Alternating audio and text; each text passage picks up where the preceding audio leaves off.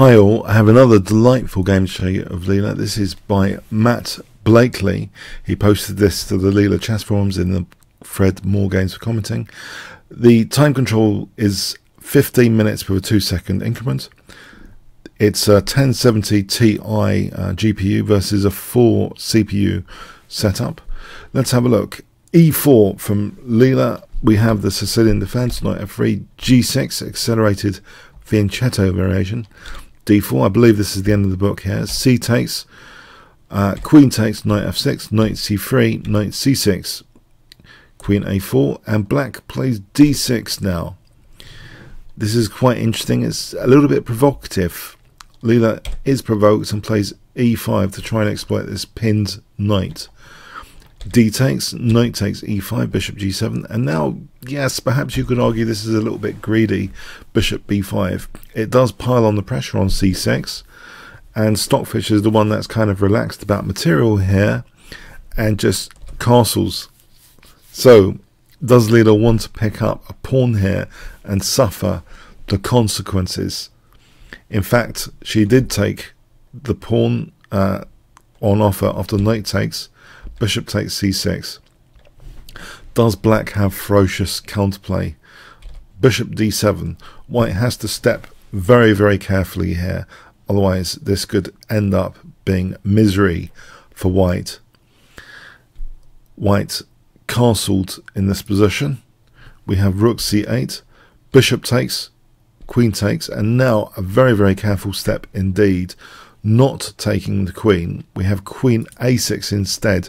This is rather suave, re-centralizing the queen, this maneuver. If instead queen takes d7, we can see that black piles up on the c file and c4 in particular, and even can prolong the torture with knight b6 here, and rook c6, and double the rooks, and now knight c4 with the big threat of knight takes b2 or knight takes a3. So for example like this, and if white's dented like that, this is just awful. It's at least equal misery for white. So that sort of thing has to be avoided. So queen a6, but there's a price that has to be paid for white's materialism. Can Leela soak up that price and pay it in a different way, bartering, instead of long-lasting endgame pressure. Is there another way? We see rook c6, queen e2, rook f c8, rook d1, queen b7, queen f3. This hints, this, this looks like an annoying pin.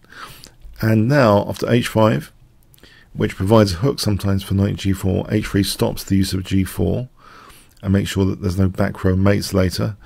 Rook b6, white Leela now plays a4, not minding the pawns being doubled. So this is an interesting way of soaking up some of the tactical pressure here. Uh, you might think queen takes b7, but uh, a4 gets underway with the pawns instead. Uh, so we see, in fact, black taking on f3 G takes. Is this a little bit wretched? We see A6. Rook A3. Rook B7. King F1. 98. And now Rook D3. White wants to play Rook B3 without losing the C3 pawn after. So if, if Rook B3 had been played straight away, Black can just take care and that'll be fine for Black. So Rook D3 preparing Rook B3. King f8, rook b3 now. And so Leela is not minding double pawns, kind of wretched on both sides of the board. Yeah, and also, of course, an isolated h pawn. The, the pawn structure doesn't look too promising, but what white does have, what Leela is trying to emphasize here with these structural costs uh, and concessions is that white has a pawn majority, a 2 to 1 pawn majority here to be able to create a passed pawn. We see knight c7 and the bishop goes to e3, knight e6, and now a5 with the hint now that actually b4, b5 with a passed a pawn. King e8, b4, rook c6, f4. You might think, well, what's the point of f4? Interesting. Well, if black replies f5, maybe there's another target on, on the file here. So, in fact, we see the move rook d6.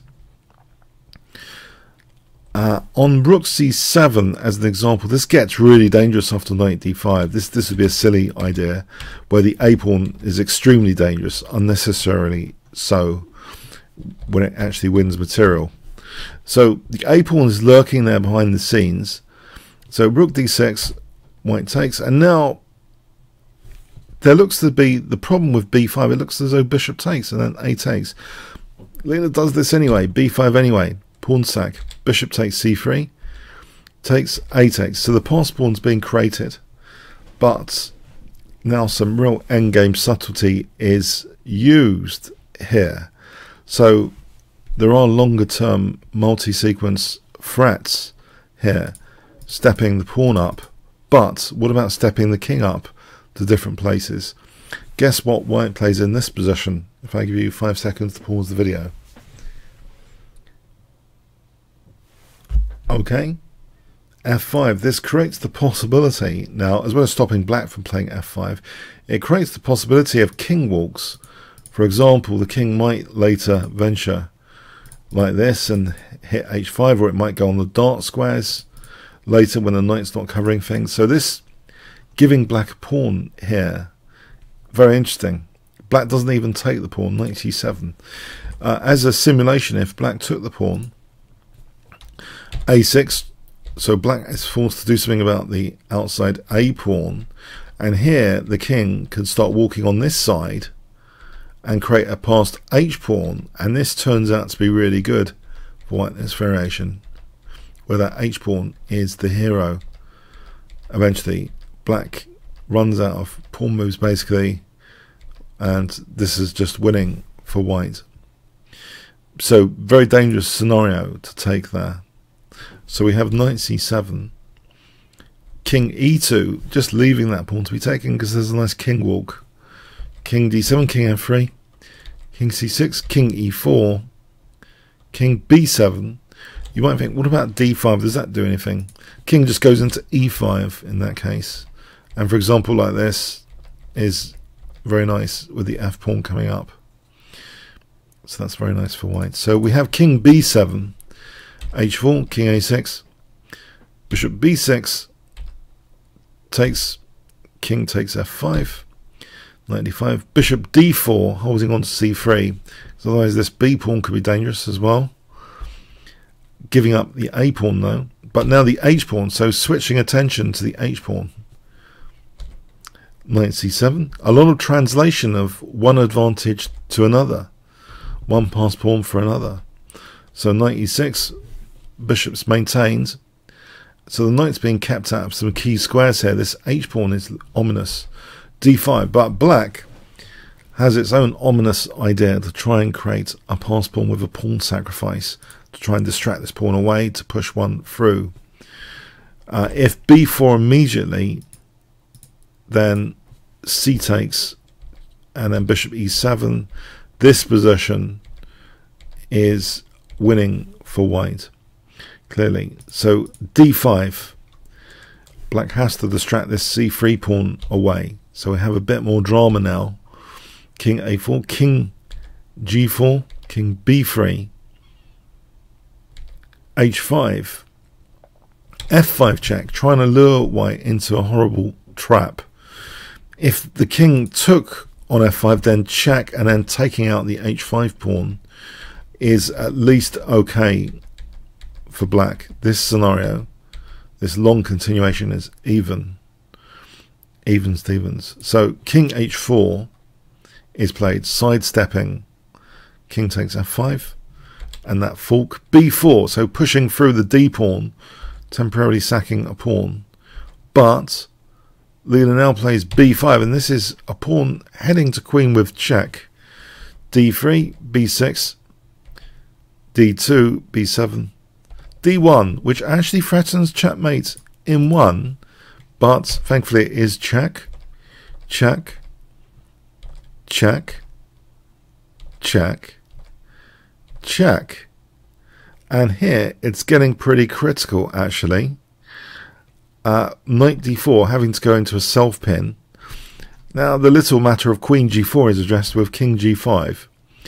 We have now queen g4 check, king h6 check, king g7 check, king f8. This is a really quite a nasty pin.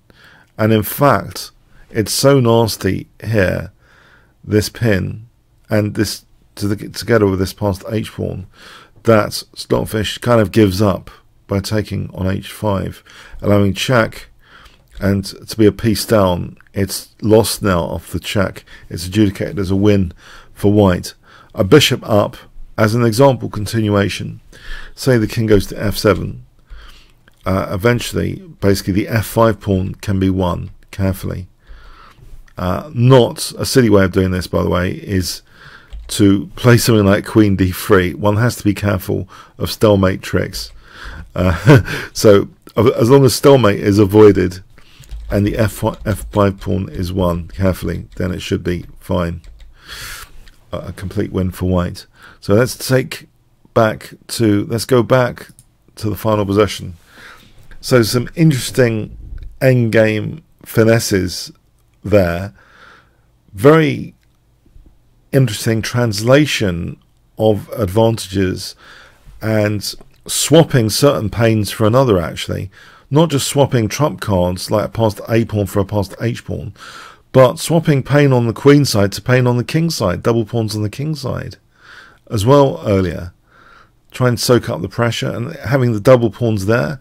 White's pawn structure, although wretched, had the idea of creating a passed A pawn, which was swapped for passed H pawn. And then later, yeah, the final dramatic scenes showing that the B pawn checking and then the king avoiding getting mated and going up the board and, and that forcing that self pin, the tactical self pin, was part of the downfall, the final downfall of black and winning that piece. So quite a dramatic game, a fabulous endgame indeed, as expressed by Matt on the Leela forums. I hope you enjoyed this game video. If you did, please click on the top left box, which should appear shortly to become a member at chessworld.net. Play the YouTubers. You can also check the YouTube analysis in advance of these games. Uh, on the uh, improved menu, learn for the Masters YouTube order button. Comments, questions, donations, see the description. Like, share, subscribe with the notification bell.